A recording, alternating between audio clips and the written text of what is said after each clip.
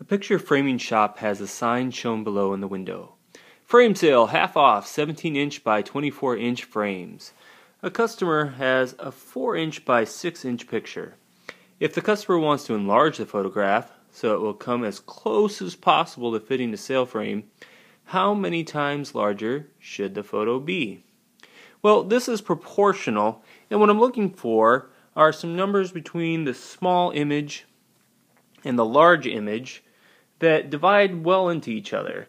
And I look at the length of this one, and I look at the length of the frame, and that's 24 and 6.